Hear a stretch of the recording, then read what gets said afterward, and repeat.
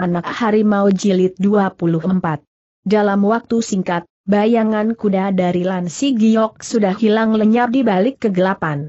Dengan perasaan sedih, si Cai Soat meneruskan kembali perjalanannya menuju ke kampung nelayan, teringat selama belasan hari ini, setiap kali menginap dia selalu tidur. Bersama engkoh gioknya, tapi engkoh giok yang bodoh, setiap kali tak pernah. Sekarang ia, sedang bertanya kepada diri sendiri mungkinkah antara engkoh giok dengan Ciu Xiao Qian akan melakukan. Membayangkan masalah yang paling rawan itu, mendadak hatinya berdebar keras, pipinya menjadi merah, diam-diam ia mengumpat ketidakmaluan sendiri. Dalam pada itu Lan Si Giok yang melanjutkan perjalanan menuju ke rumah bibinya juga dibebani oleh banyak persoalan. Ia sedang membayangkan betapa terkejut dan gembiranya Bibi Wan serta Enci Cian ketika mereka saksikan dia pulang ke rumah secara tiba-tiba. Dia pun membayangkan, Enci Cian yang sudah setahun berpisah dengannya, kini pasti bertambah lembut dan cantik, bagaimana gembiranya gadis itu ketika melihat dia pulang? Kemudian ia pun berpikir tentang kemunculan si Cai Soat besok pagi, ia tak tahu apakah enciciannya akan menunjukkan sikap cemburu seperti apa yang diperlihatkan oleh Licu. Ia merasa wajib untuk mengucapkan beberapa kata yang memuji adik Soat di depan encician. Teringat si Cai Soat, tanpa terasa ia berpaling dan memandang kembali hutan di belakang sana, namun pemandangan di sekeliling situ sudah tertutup oleh kegelapan malam. Lima li kemudian, dari kejauhan sana, terlihat titik cahaya lentera, dia tahu di situlah letak tempat tinggal Bibi Wan. Dalam waktu singkat lima li sudah ditempuh, pemuda itu segera memperlambat lari kudanya dan langsung masuk ke dalam dusun. Dari jauh dia melihat cahaya lentera masih nampak disulut dalam kamar tidur Encician. Dalam keadaan begini, ia benar-benar tak bisa membendung gejolak emosi dan rasa gembira di dalam hatinya hampir saja dia tak tahan hendak berteriak memanggil Cician dan bibiwannya. Dengan penuh kegembiraan dia menarik tali les kudanya, Hui Kau segera meringkik panjang dan lari menuju ke depan pintu pekarangan bibiwan. Suara ringkikan kuda yang keras serta derap kuda yang nyaring dengan cepat mengejutkan seisi dusun lampu lentera segera dipadamkan orang, sementara cahaya lentera yang semula menyinari kamar tidur Chu Xiao Qian kini pun telah dipadamkan. Dengan cepat Lan Si Giok sadar bahwa Bibi Wan hidup di situ sebagai seseorang yang mengasingkan diri, tidak sepantasnya bila dia mengganggu ketenangan orang kampung, serta merta pemuda itu melompat turun dari kudanya dan menepuk kudanya agar jangan berisik. Kuda tersebut memang sangat pintar, dengan cepat ia menghentikan ringkikan panjangnya dan memperingan langkah kakinya. Lan Si Giok menarik kudanya memasuki halaman rumah Bibiwan, kemudian dengan tangan yang gemetar. Karena luapan rasa gembira yang luar biasa ia bersiap-siap mengetuk pintu. Namun sebelum hal ini dilakukan, Tiba-tiba dari dalam ruangan sudah kedengaran seseorang menegur dengan suara rendah dan berat. Siapa di situ? Lan Si Giok segera mengenali suara teguran itu sebagai suara dari Enci Cian. Cici Cian aku yang datang sahut pemuda itu kemudian sambil berusaha menekan gejolak emosinya. Dari dalam ruangan segera kedengaran suara langkah manusia yang tergesa-gesa, menyusul kemudian pintu dibuka orang dan sesosok bayangan kuning menerjang keluar dari balik pintu seperti seekor burung walet yang terbang lantaran kaget. Kemudian dengan suara kejut, gembira serta gugup, dia menegur pula agak gemetar. Sungguh titik sungguhkah kau tanda tanya. Belum sampai habis perkataan itu diutarakan, tubuhnya sudah menyusul di pintu gerbang dan tergopoh-gopoh mementangkan pintu rumahnya lebar-lebar. Ketika melihat Lan Si Giok telah tumbuh menjadi dewasa, tinggi besar dan lebih tampan, hampir saja Xiao Qian tak berani memanggilnya lagi. Bertemu dengan Xiao Qian, Lan Si Giok segera melepaskan tali les kudanya kemudian agak tak sabar ia genggam sepasang tangan gadis itu dan serunya sambil mengawasi wajah nona itu lekat-lekat.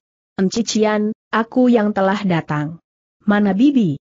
Dengan sinar mata penuh pengharapan dia menengok sekejap ke pintu kamar. dengan cepat Chiu Xiao Qian dapat menguasai diri, ketika melihat sepasang tangannya digenggam anak muda tersebut, merah padam selembar wajahnya, agak tersipu-sipu sahutnya. Ayo cepat masuk adik Giok. Sambil berkata dia lepaskan diri dari cekalan pemuda itu dan berdiri di sisi kanan pintu. Lansi Giok tertawa riang, cepat-cepat dia masuk ke dalam ruangan. Tiba-tiba suara ringkikan kuda berat dan rendah berkumandang dari belakang tubuhnya. Dengan cepat Lansi Giok teringat kalau kudanya masih tertinggal di luar pagar halaman, tanpa terasa dia berpaling dan tertawa menyesal. Ah ah ah, hampir saja kulupakan engkau. Dengan suatu gerakan, dia pun menuntun kuda hitam itu, memasuki pintu pagar. Dengan wajah terkejut bercampur keheranan, Xiao Qian memperhatikan sekejap kuda Wui Kao yang tinggi besar itu, kemudian mundur dua langkah agar kuda hitam itu dapat masuk ke dalam halaman, setelah itu pintu halaman cepat-cepat ditutup rapat. Dengan sendirinya Wui Kao itu berjalan menuju ke sudut halaman dan menunggu dengan tenang di situ. Selesai menutup pintu, Xiao Qian baru menengok kuda hitam itu sambil katanya penuh kegirangan. Adik Giok, kuda hitam itu bagus sekali kaukah yang membelinya tanda tanya.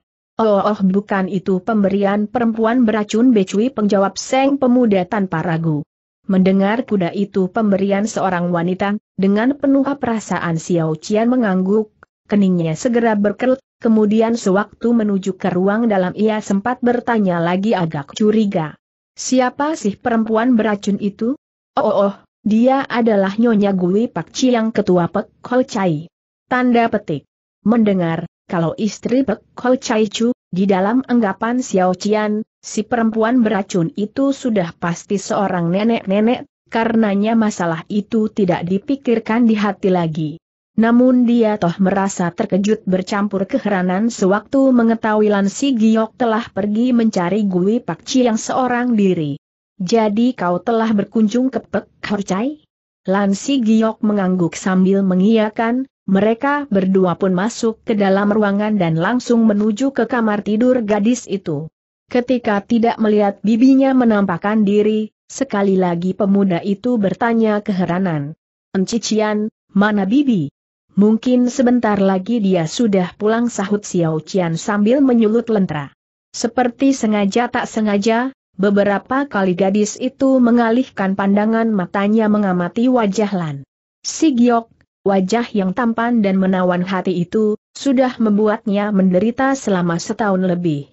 Di bawah sinar lentera, Lan Si Giok pun menemukan enciciannya tumbuh lebih tinggi, tapi wajahnya justru lebih cantik ketimbang setahun berselang terutama sekali sepasang biji matanya yang jeli, sungguh membuat hati orang terpikat. Berdebar keras hati Xiao Qian setelah dia mati secara lekat-lekat oleh pemuda itu, agak malu tapi senang, gadis itu segera berseru. Adik Giok, sekarang kau lebih tinggi daripada aku Lan si Giok tertawa bodoh lalu sahutnya agak tersipu. Sipu. Dan kau lebih cantik daripada dulu. Ah ah ah kau memang pandai bicara gadis itu tertawa jengah. Tanpa terasa dia menggerakkan tangannya dan meraba bahu pemuda itu. Rasa hormat Lan Si Giok terhadap Xiao Qian jauh melebihi rasa cintanya, biarpun wajah cantik jelita itu berada di depan dadanya, selembar bibirnya yang kecil mungil hanya satu dipa di depan bibirnya tapi ia tak berani menundukkan kepala untuk mengecupnya dia tak lebih hanya bisa berdiri tenang sambil satu menikmati bau harum semerbak yang terpancar keluar dari tubuh gadis itu dan mengendusnya dalam-dalam, sementara sinar matanya mengamati bibirnya yang mungil tanpa berkedip. Xiao Qian berdiri tepat di hadapan si Gio ia merasa pemuda itu sama sekali telah dewasa, apalagi ketika ia mendengarkan kepalanya dia melihat senyumannya yang manis, Tiba-tiba gadis itu merasa bahwa adik Giok hendak mencium bibirnya. Teringat akan ciuman, deburan hatinya kian lama kian bertambah kencang, dia sangat berharap pemuda itu dapat berbuat hal ini terhadapnya, namun tak urung bisiknya pula lirih adik Giok, ayo kita duduk sambil berbincang. Dengan lemah lembut dia membalikan badan dan duduk di tepi pembaringan. Melihat Xiao Qian menyingkir, Tiba-tiba Lan Si Giok seperti memperoleh keberanian, cepat-cepat dia mengejar, memegang lengan gadis itu dan duduk di sisinya, kemudian agak tersipu-sipu, tapi lembut, ia berkata Encician, sewaktu berada di Bukit Hoasan Saban hari aku selalu merindukan dirimu. Xiao Qian merasakan hatinya hangat dan tanpa terasa tertawa cekikikan, sambil mengawasi pemuda itu, ia berseru. Wajah bodoh, Semuanya telah berubah, hanya bibirmu yang pandai bicara saja yang rasanya tak ikut berubah. Sambil berkata ia menuding dagu pemuda itu dengan jari tangannya yang lentik. Lansi Giok khawatir Xiao Qian tak percaya, dengan gelisah ia berseru lagi. Sungguh, aku benar-benar sangat rindu kepadamu, Encician bila kau tak percaya besok boleh tanyakan sendiri kepada adik Soat. Begitu mendengar kata-kata adik Soat, Xiao Qian seperti teringat akan sesuatu, di antara kerutan dahinya. Segera muncul selapis kemurungan, namun di luar ia masih memaksakan diri untuk nampak gembira. Kau maksudkan nona si tanyanya. Sambil berkata, dengan suatu gerakan yang luwes dia menarik kembali tangannya yang sedang digenggam pemuda itu. Oleh karena sedang gembira, Lansi Giok sama sekali tidak merasakan keanehan tersebut, tetap penuh kegirangan dia berkata lagi. Betul, dia telah pergi ke kampung nelayan, besok baru akan kemari untuk menjengukmu serta Bibi Wan. Mengapa ia tidak kemari bersama-sama kau tanya Xiao Qian lagi dengan kening berkerut. Di tengah jalan adik Soat tak enak badan dia takut kau menertawakan kesayuannya, karena itu tidak ikut datang. Sambil berkata, tanpa terasa dia menggenggam sepasang tangan Xiao Qian lagi. Tapi begitu tangan si Nona digenggam, Lan Si Giok terkejut, wajahnya berubah, kalau tadi tangan si Nona terasa hangat dan lembut, maka dalam waktu singkat telah berubah menjadi dingin bagaikan salju. Ia segera mendongakkan kepalanya dan mengawasi wajah Xiao Qian dengan perasaan tak mengerti, serunya terkejut. Encician, kau, dengan cepat dia pun menjumpai kerutan dari gadis itu, selapis kemurungan dan kesedihan menyelimuti seluruh wajahnya. Melihat sikap Seng pemuda yang gugut dan kaget, Xiao Qian segera berlagak tertawa geli, katanya dengan cepat. Persoalan apa sih yang membuat kau kaget setengah mati? Sekali lagi dia menarik tangannya dari genggaman pemuda itu, lalu terusnya penuh perhatian. Kau belum bersantap malam bukan? biar ku siapkan untukmu. Ia lantas bangkit berdiri dan berjalan menuju keluar ruangan, Lansi Giok semakin termangu, perubahan yang datangnya secara tiba-tiba ini membuat dia jadi kebuakan dan tidak habis mengerti. Ia dapat merasakan, walaupun Encician sedang tertawa namun, tertawanya kelewat dipaksakan, walaupun sepintas lalu nampak gembira namun di antara kerutan dahinya terselip kemurungan serta perasaan sedih. Dengan suatu gerakan yang lembut Xiao Qian membuka pintu, yang mana segera menyadarkan kembali Lan Si Giok dari lamunan dengan cepat ia menenangkan hatinya kemudian berseru dengan gelisah. Encician aku belum lapar, aku masih belum lapar. Buru-buru dia bangkit berdiri dan menyusul sampai di luar ruangan. Tapi, Xiao Qian telah berjalan masuk ke dalam dapur. Kembali Lan Si Giok mengejar sampai di situ, serunya lebih jauh. Aku masih belum lapar, Cici Cian aku belum lapar. Xiao Qian memandang sekejap wajah si anak muda itu, kemudian sambil menyulut lentera, katanya lagi dengan gembira. Aku bisa menanakan nasi dengan cepat adik Giok, bila kau ingin berbicara, lanjutkanlah kata-katamu. Sesungguhnya Lan Si Giok belum bersantap malam namun ia sama sekali tidak lapar, apalagi setelah menjumpai perubahan yang tak terduga itu, dia semakin tak tega untuk makan. Dengan penuh keraguan dan perasaan tak habis mengerti, ia berdiri di belakang Xiao Qian, dengan termangu-mangu mengawasi gadis itu mempersiapkan hidangan baginya. Kalau tadi, Encician kelihatan begitu gembira dan riang, wajahnya yang cantik diliputi cahaya kegembiraan. Maka sekarang ia berkerut kening dan penuh kemurungan, meski ia masih memaksakan diri untuk tertawa manis, namun sikap yang dipaksakan tersebut hanya bisa berlangsung untuk sesaat. Sebagai seorang pemuda yang pintar dengan cepat Lan Si Giok merasa di manakah letak kesalahan tersebut, ia menyesal sekali mengapa membicarakan soal si Cai Soat. Ia memaki diri sendiri, menggerutu kepada diri sendiri, tidak sepantasnya mempersoalkan adik Soat dalam keadaan dan suasana seperti ini. Tapi, besok kan si Cai Soat akan datang? Bagaimana pula jadinya? Berpikir sampai di situ, tanpa terasa peluh bercucuran dengan amat derasnya. Dengan perasaan gugup dia, menengok enciciannya yang cantik, perempuan yang selama ini dianggap sebagai Dewi Suci dalam hati kecilnya, dia tak percaya enciciannya yang lemah lembut penuh keanggunan itu justru merupakan seorang gadis yang sangat besar rasa cemburunya. Namun kenyataan memang demikian. Xiao Qian baru menunjukkan sikap murung dan sedih setelah mendengar soal si Cai Soat. Mengapa pula tangannya berubah menjadi dingin seperti es? Tentu saja Lan Si Giok tidak dapat memahami perasaan Xiao Qian yang sesungguhnya, semenjak setengah tahun berselang, dia telah mempunyai suatu ketetapan di hati kecilnya, dia hendak mengorbankan diri agar Lan Si Giok bisa hidup berbahagia dengan si Cai Soat. Di dalam anggapannya, bila ada dua orang gadis bersama-sama mencintai seorang lelaki, maka akhirnya tentu akan tragis, terutama sekali ibunya Hu Yong Chu, ini merupakan suatu contoh yang nyata sekali. Ia pun dapat membayangkan, selama setahun lebih ini Lan Si Giok dan si Chai Soat selalu hidup bersama, main bersama dan latihan bersama tak sedetik pun mereka berpisah, benih cinta yang tumbuh di antara mereka mungkin sudah mencapai pada titik puncaknya. Mereka pasti sudah saling berpelukan, saling berciuman dan saling bermesrahan, bahkan bisa juga jadi kehidupan mereka sudah tak ubahnya seperti kehidupan suami istri. Setiap tengah malam ia terbangun dari tidurnya dan terbayang akan persoalan ini, gadis itu tak pernah bisa tidur lagi.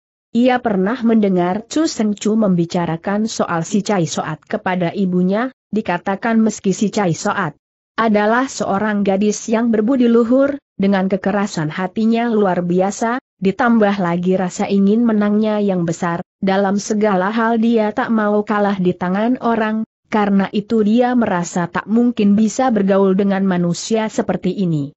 Daripada di akhirnya nanti bentrokan di antara mereka berdua menyebabkan Lan Si Giok tidak berhasil memperoleh kebahagiaan, jauh lebih baik bila sekarang juga dia mengundurkan diri dan meninggalkan kenangan yang indah. Tentu saja dia masih tetap mencintai adik Giok, cuma dia ingin memendam rasa cintanya itu di hati kecil, dia ingin menemani ibunya yang kesepian dan hidup sepanjang masa di sana. Kini Chiu Xiao Qian mulai menyesal, apa sebabnya dia harus menunjukkan perasaan hangat dan cintanya sewaktu menyambut kedatangan Lan Si Giok yang sudah berpisah setahun lamanya itu. Ia merasa semestinya dapat mempertahankan jarak dan sikap dalam perjumpaan tadi, namun rasa rindu yang luap-luap, rasa kangen yang dirasakan setiap malam, mungkinkah bisa mengendalikan dia dalam menghadapi situasi demikian? Sekarang, untuk pertama kalinya ia harus merasakan betapa menderitanya bila harus mengendalikan rasa cinta di dalam hati, apalagi bila terbayang bagaimana sepanjang hidupnya kemudian harus dilalui dalam siksaan dan kesepian, tiba-tiba perasaannya menjadi sedih, hampir saja titik air mata jatuh berlinang. Masih untung ia berdiri membelakangi si Giok, sehingga air matanya dapat dikendalikan agar tidak meleleh keluar, namun dia sendiri pun tahu, saat ini adik Giok tentu sedang menderita pula akibat dari sikapnya itu. Dalam ruang dapur, selain suara nasi yang ditanak serta bau harum dari hidangan, suasana terasa hening dan tak kedengaran suara yang lain. Seperti apa yang diduga gadis itu, Lansi Giok memang sedang terjerumus dalam penderitaan. Ciu Sia Ucian merupakan gadis pertama yang memasuki kehidupannya, dia pula merupakan dewi cantik yang dipuja dan dihormati selama ini baginya, ia boleh melepaskan semua benda berharga yang dimilikinya selama ini, namun tak mungkin bisa kehilangan encician. Saat itu dia hanya berdiri termangu-mangu di belakang gadis tersebut, perasaan gembira dan riang yang menyelimuti perasaannya tadi, kini telah berubah menjadi penderitaan dan kesedihan, dia tak tahu apa yang mesti diperbuat agar bisa membangkitkan kembali kegembiraan gadis tersebut. Selesai mempersiapkan semacam sayur, Xiao Qian diam-diam melirik sekejap ke arah pemuda itu, menyaksikan Seng pemuda yang pulang dengan penuh kegembiraan dan semangat. Kini justru berdiri termangu dengan kening berkerut, hatinya terasa sakit bercampur pedih, ia tak dapat berbuat begini terus, dia pun tak tega menyiksa kekasih hatinya maka setelah mendehem dan memaksakan senyuman gembira, tegurnya, adik Giok mengapa kau hanya membungkam terus tanda tanya. Sambil berkata ia membalikan badan serta memandang sekejap wajah anak muda itu dengan pandangan matanya yang jeli. Lansi Giok merasakan hatinya bergolak keras, menderita bukan kepalang, Senyuman yang diperlihatkan Xiao Qian sekarang ibaratnya orang dalam kegelapan yang tiba-tiba melihat sinar lentera, segera menampilkan kembali semangat dan keberanian di dalam hatinya. Ia merasa inilah saatnya untuk mengucapkan kata-kata pujian kepada gadis itu, dia pun perlu menyampaikan beberapa kata bagi si Cai Soat, agar pertemuan mereka besok tidak dilewati dalam suasana yang serba kaku. Setelah mendehem sejenak katanya kemudian. Encician, adik Soat bilang jubah biru yang kau jahitkan untukku itu dibuat dari ulat sutra langit. Tanda petik. Eh betul Xiao Qian mengangguk, benda itu diperoleh ibu sewaktu dia mengikuti Sucou Huan In Sutai belajar silat di Tiansan Barat dan menemukannya dalam sebuah gua. Dengan cepat Lan Si Giok menjadi paham, rupanya perguruan Bibiwan adalah Tiansan Pei. Namun di dalam suasana begini, dia sama sekali tak berniat untuk mencari tahu tentang masalah tersebut, katanya lebih jauh. Adik Soat pun bilang, jahitanmu sangat indah lagi rapi, bila dibandingkan dengan hasil karyanya dia kalah jauh sekali darimu. Xiao Qian pura-pura tertawa riang, sengaja dia berseru, sayang sekali bukan hasil karyaku.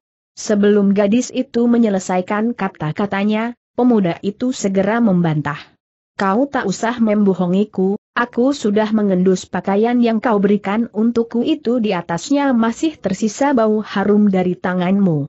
Merah dadu selembar wajah Xiao Qian karena jengah, ia segera terbungkam dan tak mampu membantah lagi, namun pemuda itu dapat melihat, di atas wajahnya yang merah jengah, terselip rasa terhibur meski terdapat pula rasa murung maka ia pun berkata lebih jauh. Selain itu, sarung pedang dan sepatu yang Cici hadiahkan untuk adik Soat membuat adik Soat terkejut bercampur kegirangan sedemikian gembiranya sampai dia cuma bisa menyebut Cician berulang kali. Sambil tersenyum Xiao Qian menyela.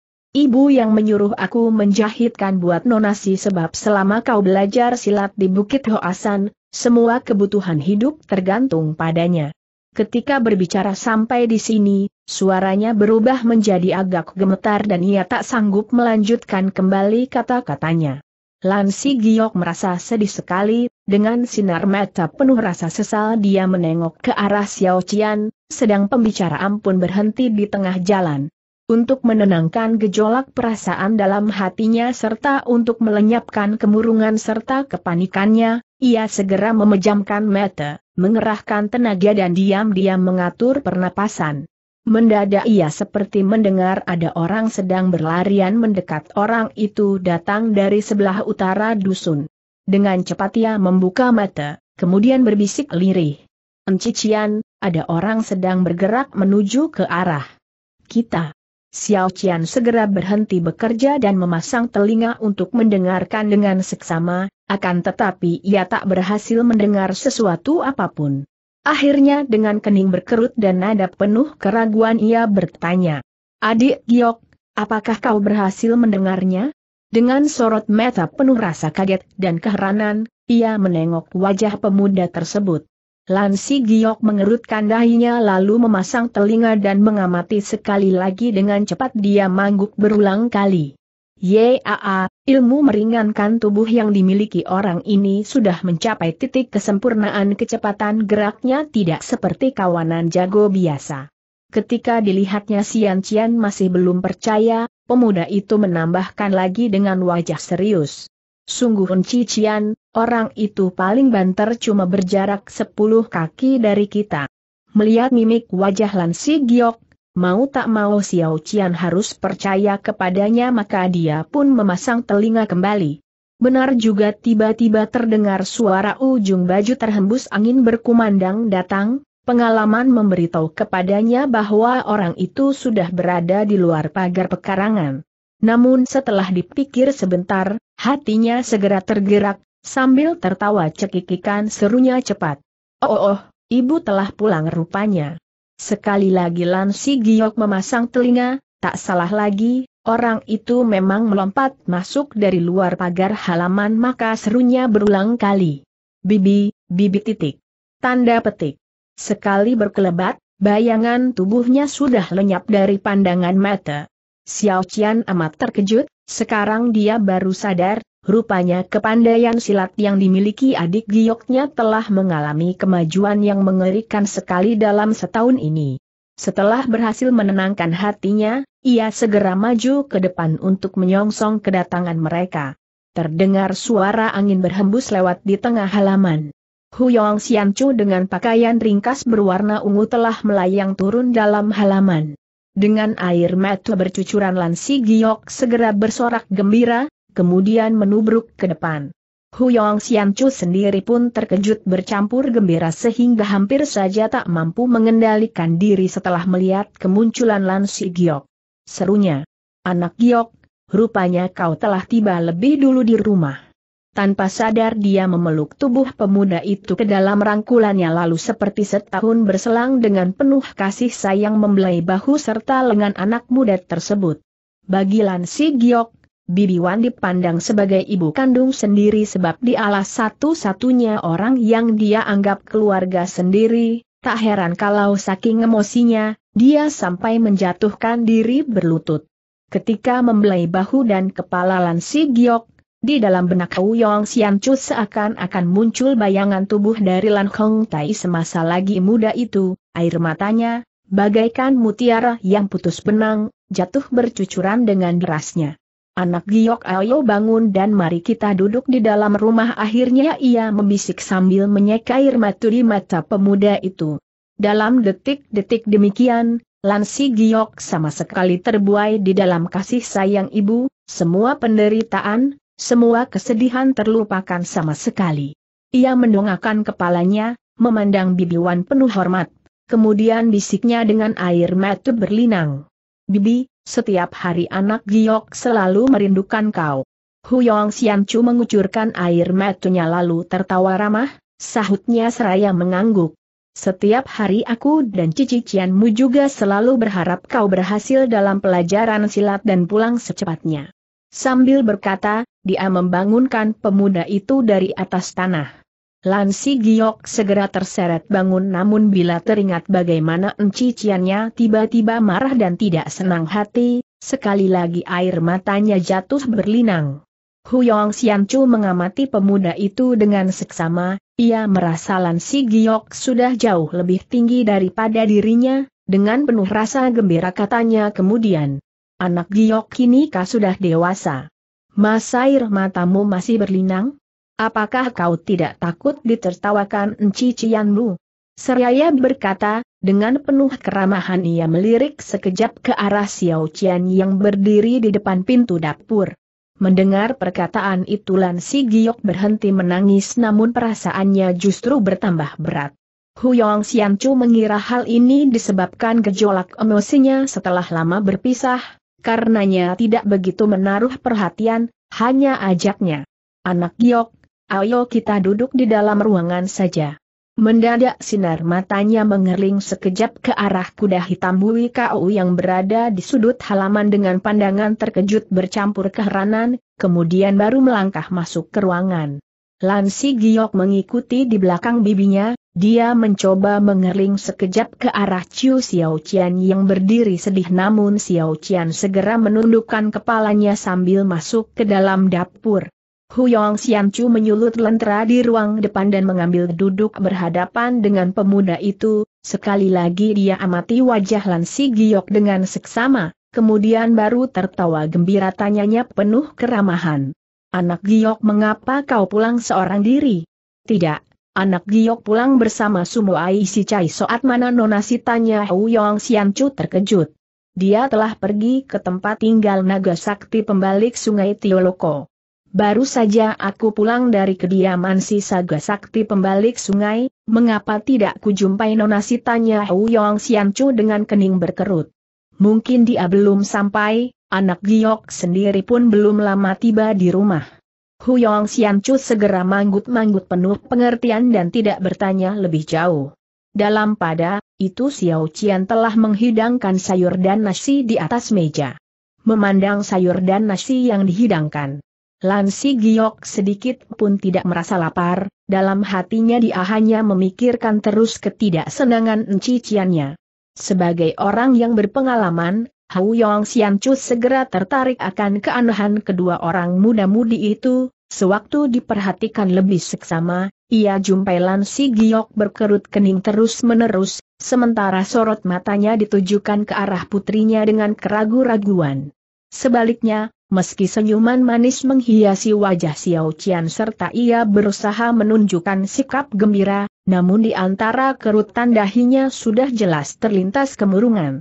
Huyong Xiancu adalah seorang yang pernah mengalami pahit getir dunia asmara, dalam sekilas pandangan saja dia telah menyimpulkan bahwa di antara Xiao Qian dengan Si Giok pasti sudah terjadi sesuatu hal yang tidak menyenangkan, di samping itu dengan cepat pula ia bisa menduga bahwa persoalan ini pasti ada sangkut paut dengan kehadiran si Cai Soat. Dengan berlagak seakan-akan belum tahu ia lantas berkata kepada Xiao Qian. Anak Cian coba ambilkan seperangkat mangkuk dan sumpit, aku pun belum bersantap malam. Xiao Qian mengiyakan dengan hormat kemudian cepat-cepat berlalu dari situ. Sebenarnya Lan Si Giok hendak menampik hidangan itu, tapi berhubung bibinya juga belum bersantap malam, terpaksa dia harus menemani bibinya untuk makan. Sementara Hu Yong Xian Chu menemani Lan Si Giok bersantap, Xiao Qian duduk menanti di samping. Dengan kehadiran Hu Yong Chu, suasana di situ pun terasa jauh lebih lunak.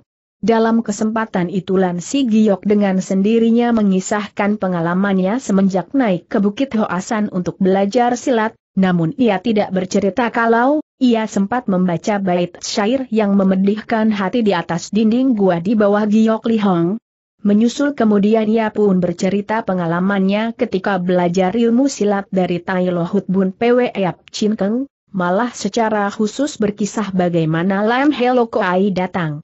Semenjak Tu Seng Chu menuju keluar lautan ketika membicarakan soal ini, diam-diam ia mengamati perubahan wajah bibinya, tidak ditemukan sesuatu yang aneh, maka tanyanya kemudian dengan perasaan tidak habis mengerti. Bibi, Sewaktu berangkat keluar lautan apakah suhu datang menjumpai Bibi? Huyong Chu segera mengangguk. Yaa, dia datang satu kali, tapi sama sekali tidak menjelaskan alasan yang sebenarnya kepergiannya keluar lautan. Lan Si Giok dapat melihat bahwa Hu Yong Chu enggan mengutarakan keadaan yang sebenarnya, namun dia pun tak mau mendesaknya lebih jauh. Terdengar Hu Yong Chu berkata lebih jauh. Mungkin si naga sakti pembalik sungai Tiolong Hiong mengetahui keadaan yang sejelasnya. Sekali lagi Lensi, Giok merasakan hatinya, tergerak isteringat kembali dengan surat yang dikatakan sebagai surat gurunya meski dia tahu kalau surat itu palsu, namun tetap berharap dapat mengetahui alasan kepalsuannya.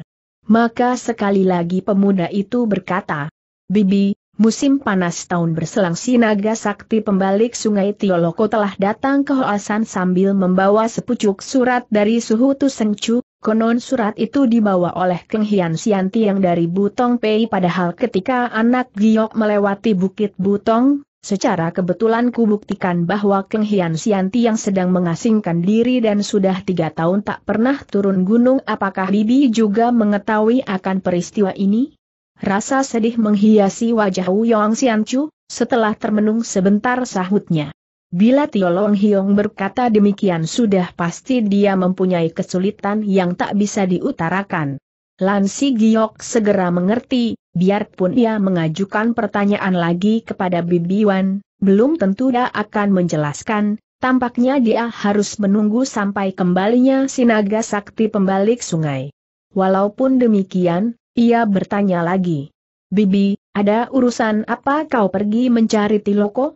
Aku ke rumahnya karena ingin mencari kabar kapan kau akan pulang. Sekali lagi Lan Si Giok merasakan hatinya, tergerak, dia dan adik Tigeo telah pergi ke Pek Ho Chai. Sewaktu Bibi ke situ apakah mereka telah pulang Huyong Sian Chu menggeleng. Sewaktu aku ke sana, hanya putra sulungnya Tio Tai Keng yang ada di rumah, sedang Tio Long Hiong sendiri masih belum pulang. Dari mana Bibi tahu kalau Tio Loko pergi ke Hoasan desak pemuda itu tak habis mengerti.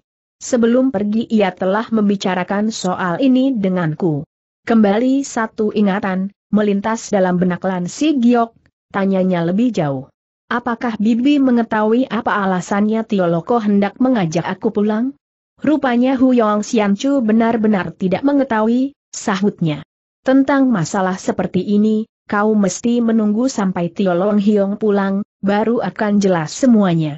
Lan Si Giok tahu kalau bibinya enggan membicarakan persoalan itu lebih dulu maka dia pun tidak bertanya lebih jauh. Menggunakan kesempatan mana ia menuturkan pengalamannya sejak turun gunung pergi ke Pek Ho Chai. Mendapat keterangan baru dari Gui Pakci yang lalu pergi ke Tai Angsan mencari beruang berlengan tunggal Kiong Tek Chiong kemudian mendapat berita tentang Toan Kitin dan Si Ye Ugi serta lain-lainnya. Seusai mendengar penuturan itu, Huyong Chu mengerutkan dahinya dengan sedih sampai lama kemudian ia baru berkata, Bila ditinjau dari apa yang diucapkan Kiong Tek Chiong, bisa jadi jejak ayahmu sudah diketahui oleh si Ye Ugi, sedangkan pembunuh yang sesungguhnya adalah Toan Kitin, atau si Ye Ugi, mengenai lorong rahasia baru tersebut, bisa jadi hasil galian si Ye Ugi secara diam-diam. Tapi menurut apa yang anak Giok saksikan dengan mata kepala sendiri Toan Kitin masuk keluar dari kuburan tersebut melalui jalanan yang ada, dari sini menunjukkan bahwa si Ye Ugi sendiri pun tidak tahu kata Seng pemuda menerangkan. Huyong Chu termenung berapa saat lamanya, kemudian baru katanya lagi. Kini si Ugi telah mati sehingga mustahil untuk mengorek keterangan dari mulutnya. Aku rasa kita hanya bisa bertanya kepada manusia buas bertelinga tunggal Oh Tinsan yang bersembunyi di balik kegelapan, di samping itu kita harus mengorek keterangan darinya secara bagaimana ia bisa mengetahui jejak ayahmu dan bagaimana caranya dia memasuki kuburan kuno, semenjak kapan pula si Ye Ugi bersembunyi di kamar sebelah. Menyinggung soal Oh Tin San, Lan Si Giok merasa hatinya tergerak, kembali ia bertanya dengan perasaan tak habis mengerti. Bibi setelah Oh Tin San suami istri dibuat lari ketakutan oleh kemunculan suhu Tu Seng pada malam itu, pernahkah dia datang mengganggu dirimu lagi? Tidak, ia tak pernah kemari lagi Hu Yong Sian Chu menggeleng, namun juga agak curiga, cuma anehnya dalam setahun belakangan ini, Oh Tin San suami istri juga tak pernah munculkan diri lagi di sekitar tempat ini kalau bukan disebabkan merasa takut terhadap Tuseng Chulo Ciampual, sudah pasti ia sedang menekuni sejenis ilmu silat yang sangat tangguh. Lan Si Giok berkerut kening, kemudian seakan-akan memahami akan sesuatu katanya. Bibi, anak Giok pikir ingin menyusul Oh Licu yang baru pulang dari Tai Angsan untuk menyelidiki Wilin Peo sekali lagi. Ciu Xiao Qian yang selama ini hanya duduk mendengarkan dengan mulut membungkam, segera mengerutkan dahinya begitu menyinggung masalah Ho Li Chu. Namun sebelum ia sempat menimbrung, Hu Yong Xian Chu telah bertanya lebih dulu dengan wajah keheranan. Anak Giok jadi kau telah bertemu lagi dengan Nona Oh. Tadi, Lan Si Giok hanya menjelaskan tentang hasil yang diperoleh dari Kiong Tek Chiong tanpa menjelaskan pengalamannya selama di Tai Angsan secara terperinci. Setelah mendapat pertanyaan itu, dia baru menerangkan bagaimana Tok Nio Chu menyusulnya sampai di kota Xiangyang, bagaimana bertemu dengan Oh Li Chu dan menuju Tai Angsan bersama-sama lalu bagaimana kedua kakak beradik itu saling bertemu kembali. Tampaknya Huyong Chu pernah mendengar tentang Tok Nio Chu, ia segera memberi peringatan. Tok Nio Chu adalah seorang perempuan liar yang kurang wajar cara hidupnya, dengan mengandalkan senjata rahasia beracunnya, banyak sudah korban yang tewas di tangannya seorang perempuan muda yang genit ternyata memilih nama julukan yang menggetarkan hati, anak giok, di kemudian hari kau harus lebih waspada. Lansi Giok segera mengiyakan berulang kali, sebelum ia menjelaskan bagaimana Tok Niochu menghadiahkan kuda, menjadi petunjuk jalan dan mulai menunjukkan sikap welas kasihnya terhadap musuh, tiba-tiba terdengar Chu Xiao Qian berkata dengan ketus. Kuda hitam yang berada di tengah halaman justru merupakan hadiah dari Tok Niochu yang peramah itu merah padam selembar wajah Lansi Giok karena jengah, secara jujur dan terbuka ia segera menjelaskan pengalamannya sampai mendapat hadiah kuda. Setelah mendengar penuturan mana, Huyong Xiancu mengangguk berulang kali sambil katanya. Asal pemberian kuda dilakukan dengan perasaan yang tulus dan jujur kita memang mesti menerimanya. Justru yang dikhawatirkan adalah bila dia mempunyai maksud tujuan tertentu. Besok Tok Nio Chu dan Oh Li Chu sudah akan tiba di sini, biarlah setelah bersua nanti anak Giok mengembalikan kuda itu kepada mereka janji pemuda itu cepat-cepat. Huyong Xian Chu manggut-manggut, kemudian ia bertanya lagi. Apakah Nona Oh telah bercerita tentang ditotoknya jalan darahnya pada malam dulu? Tanda petik. Tidak dia hanya bercerita bahwa Bibi telah membicarakan soal terbunuhnya ayahku. Huyong Xiancu menghela napas panjang. Aai setelah kepergianmu pada malam itu Tok Seng Chulo Ciampu telah munculkan diri dari balik kegelapan pertama-tama dia serahkan dulu pedang Matwi Kiam dan sebuah kotak kecil kepada anak Cian, dengan pesan agar aku membimbing Enci Cianmu mempelajarinya, kemudian setelah membebaskan totokan jalan darah Oh Licu. Ia baru menyusul ke mana kau telah pergi. Sejak enciciannya membuatkan sarung pedang untuk si Cai Soat, Lansi Giok telah menduga besar kemungkinan pedang Matwi Kiam telah diserahkan oleh gurunya kepada Chiu Xiao Qian mendengar sampai di situ ia segera menjelaskan. Kedua bilah pedang mestika itu. Tapi Hu Yong Xian Chu segera menukas sebelum anak muda itu melanjutkan kata-katanya. Suhumu telah memperkenalkan asal-usul kedua bilah pedang itu kepada kami, Untung saja Enci Cianmu tak sampai menyia-nyiakan pengharapannya, cuma sayang tenaga dalamnya masih ketinggalan jauh sehingga menuju ke tingkat kesempurnaan pun masih jauh sekali. Tergerak pikiran Lansi Giok mendengar kata-kata itu, dia segera teringat kembali dengan cairan lengsek Giok Ji yang tersimpan dalam sakunya. Dengan penuh kegembiraan ia segera berseru. Biarpun tenaga dalam encician agak ketinggalan hal ini tak perlu dirisaukan anak Giok masih menyimpan lengsek Giok Ji sebanyak 7-8 tetes dalam saku, harap Bibi dan encician sudi meneguknya beberapa tetes. Dari sakunya ia mengeluarkan botol kecil itu dan diserahkan ke tangan Hu Yong Xian Chu. Dengan perasaan terkejut, bercampur gembira Xiao Qian segera maju menghampirinya. Dengan wajah serius Hu Yong Xian Chu menerima botol kecil itu dan segera membuka penutupnya seketika itu juga seluruh ruangan dipenuhi bau harum semerbak. Paras mukanya segera berubah, dengan wajah berseri katanya kemudian sambil mengangguk. Yaa, benar, memang benda mestika yang mahal harganya. Berbicara sampai di situ, keningnya kembali berkerut, seakan-akan sedang memikirkan sesuatu, Kemudian dengan nada tak habis mengerti tanyanya. Pada saat Suhumu menyerahkan pedang kepada anak Cian tahun berselang beliau pun menghadiahkan setetes lengsek giok ji untuk encimu, konon cairan itu merupakan tetesan yang terakhir, dari mana kau bisa mendapatkan begitu banyak. Secara ringkas pemuda itu segera menjelaskan bagaimana dia bersama si Cai Soat menemukannya di dalam sebuah celah gua, Tentu saja soal adegan panas yang dilakukannya bersama si Cai Soat sama sekali tidak disinggung. Akhirnya dengan penuh kegembiraan dia berkata, isi botol ini paling tidak masih terdapat 7-8 tetes, silahkan Bibi dan Enci Cian membaginya untuk berdua. Huyong Xian Chu segera menggelengkan kepalanya berulang kali sambil tertawa. Aku sudah pernah makan buah cusian ko jadi tak perlukan lengsek giok lagi. Tanda petik.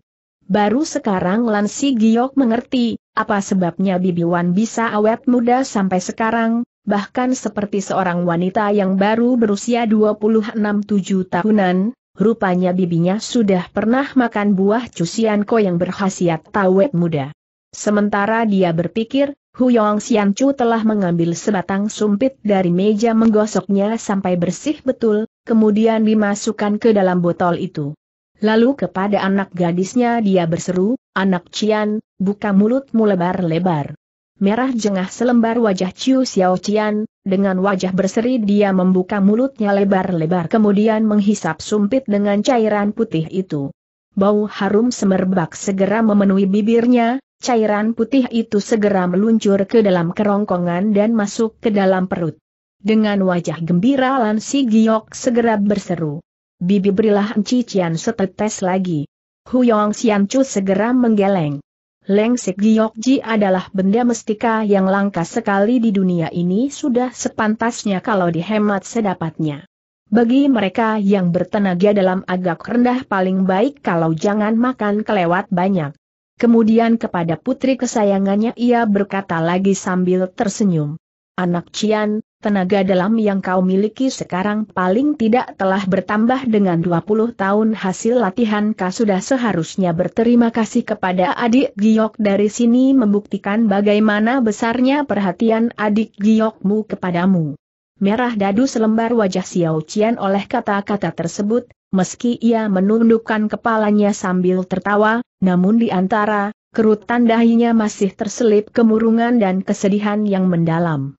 Huyong Xian Chu khawatir Lan Si Giok mengetahui perubahan aneh di wajah Xiao Qian tersebut, cepat-cepat ia berkata lagi, anak Qian, cepat pergi ke kamarku dan bersemedilah dua tiga kali putaran, iringi hawa sakti yang dihasilkan Giok Ji tersebut ke seluruh anggota badan, dengan begitu akan semakin besar khasiat yang kau peroleh. Kemudian kepada Lan Si Giok yang masih memandang Xiao Qian dengan wajah termangu itu, katanya lagi sambil tersenyum.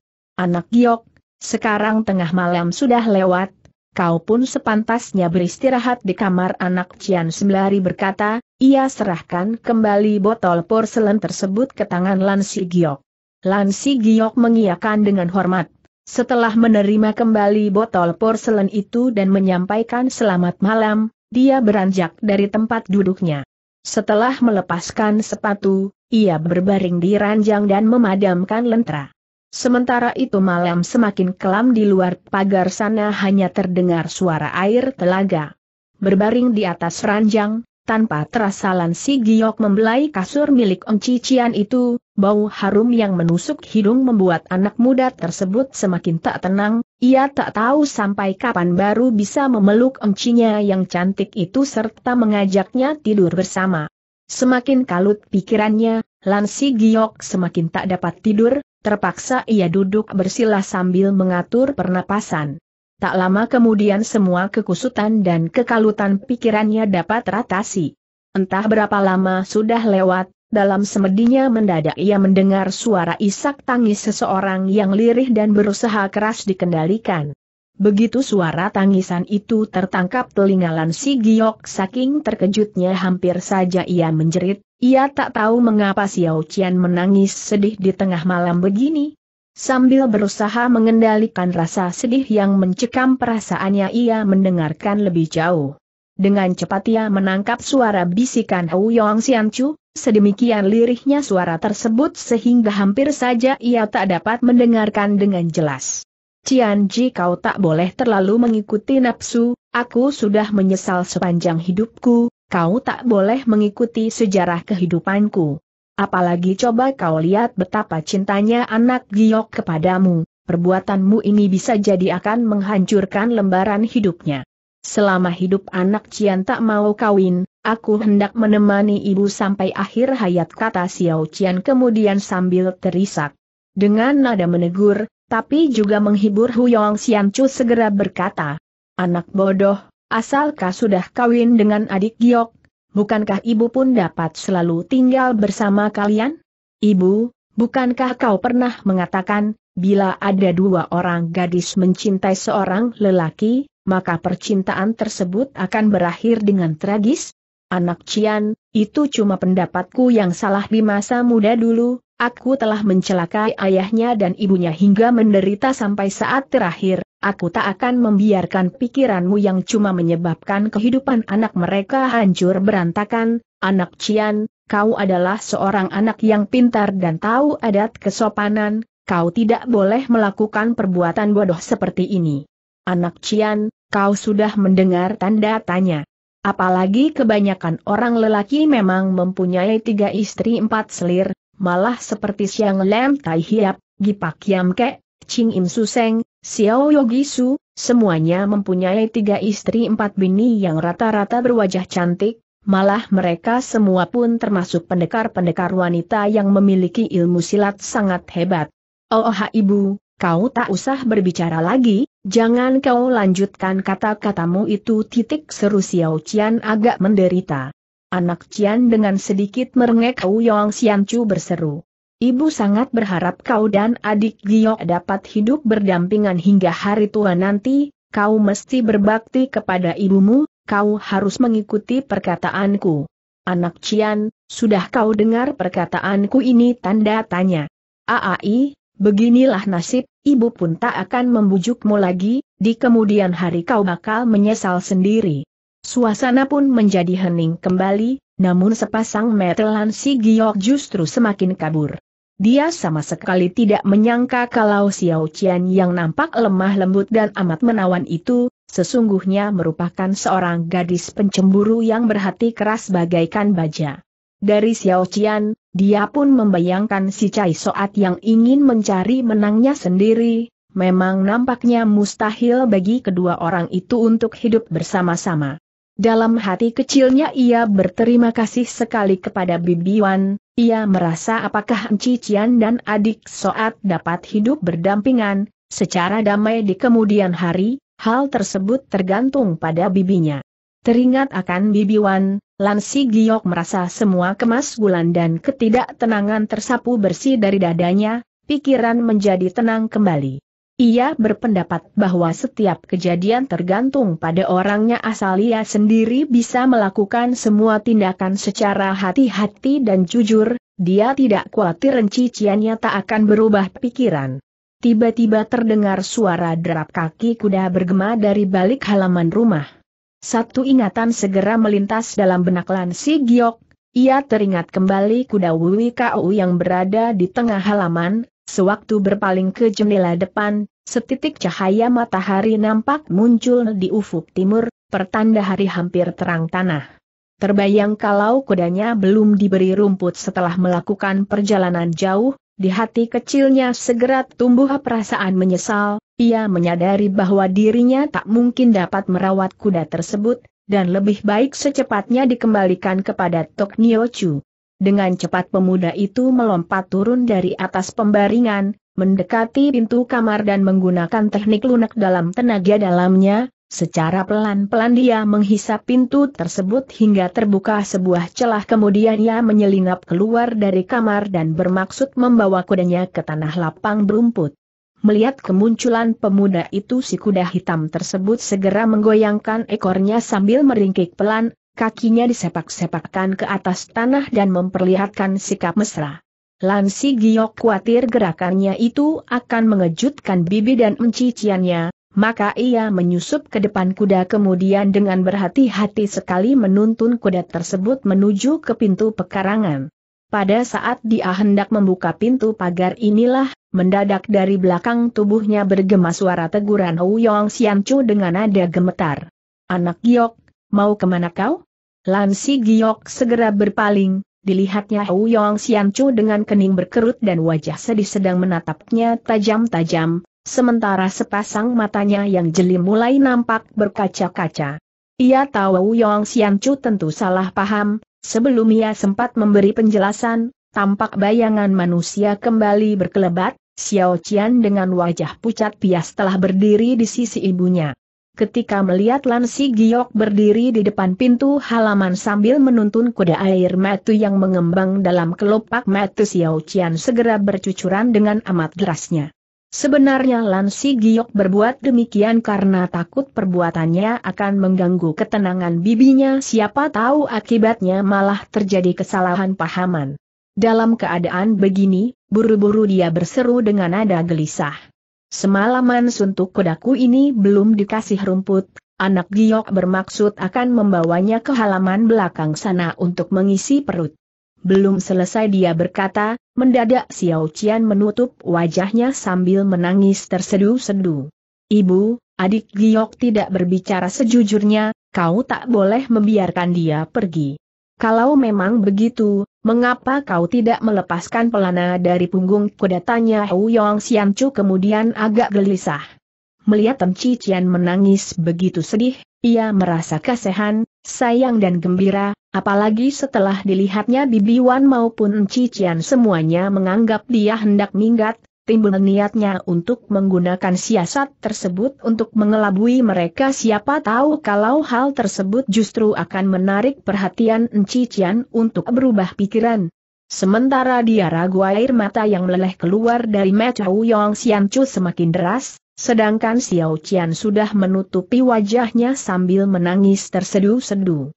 Jelas sudah, mereka percaya bahwa pemuda itu memang berniat untuk minggat dari rumah mereka.